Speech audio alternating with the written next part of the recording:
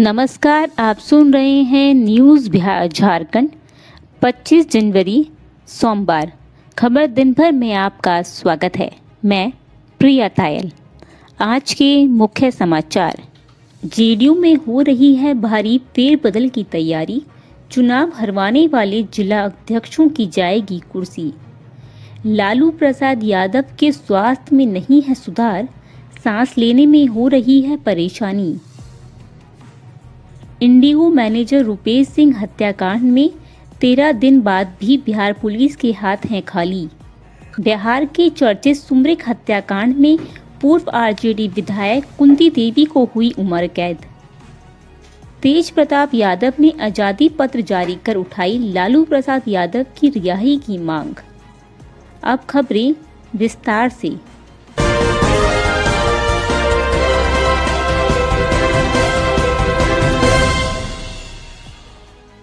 बिहार विधानसभा चुनाव में जेडीयू की उम्मीदों को जोरदार झटका लगा है।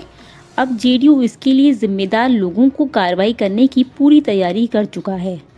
सबसे ज़्यादा गाज जेडीयू के जिला अध्यक्षों पर गिरने वाली है।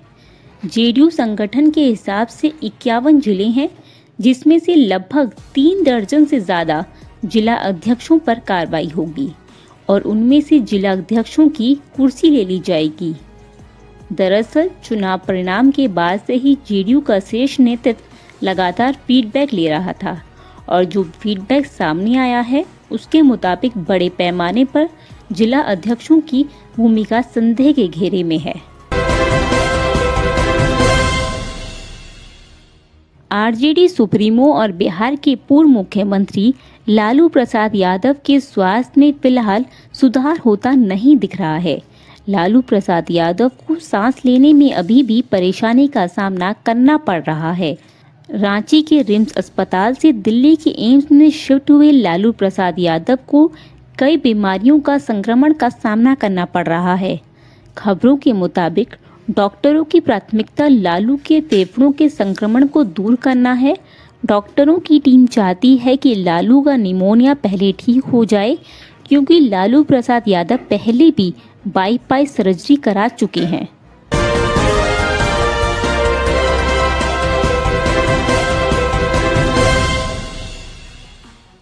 बिहार पुलिस के लिए पटना में हुए इंडिगो मैनेजर रुपेश सिंह हत्याकांड अभी तक पहली बनी हुई है। हत्या के तेरह दिन गुजर जाने के बाद भी एसआईटी हो या कोई दूसरी एजेंसी, यह पता नहीं लगा सकी है कि उनकी हत्या क्यों की गई।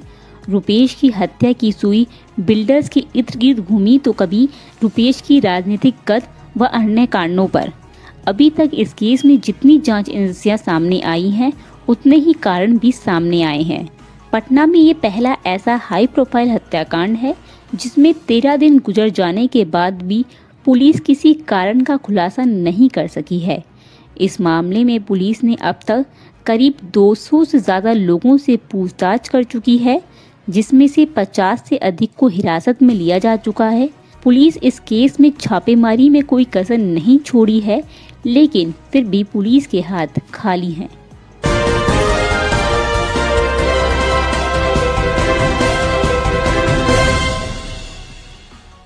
बिहार में चर्चित सुमरिक यादव हत्याकांड में दोषी करार दी गई अत्रि विधानसभा की पूर्व विधायक कुंती देवी को उम्र कैद की सजा सुनाई गई है। एडीजी कोर्ट ने पूर्व आरजेडी विधायक कुंती देवी को उम्र कैद की सजा सुनाई है। कोर्ट ने 19 जनवरी को उन्हें दोषी करार दिया था। उसी दिन उन्हें न्यायिक हिरासत में भेज दिया गया है। बता दें कि जेडीयू नेता रहे सुमरिक यादव की हत्या राजनीतिक द्रिवेश में कर दी गई थी। 2013 में इस घटना ने काफ़ी सुर्खियाँ बिटोरी थी। इस मामले में मृतक के भाई विजय यादव के बयान पर एफआईआर दर्ज कराई गई थी।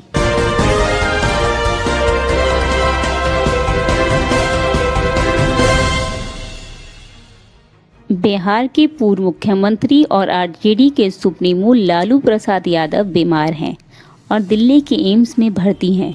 चारा घोटाले में सजा काट रहे लालू प्रसाद यादव की रिहाई की मांग और ज़ोर पकड़ने लगी है।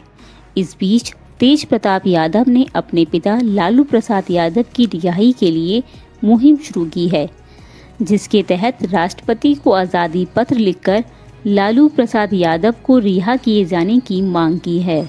तेज प्रताप यादव ने मुहिम शुरू करते हुए राष्ट्रपति के नाम एक पोस्ट कार्ड जारी किया। उन्होंने लोगों से अपील की कि सभी लालू यादव की रिहाई की मांग के लिए राष्ट्रपति को पत्र लिखें। इस बुलेटिन में इतना ही। अगली मुलाकात होगी कल। नमस्कार।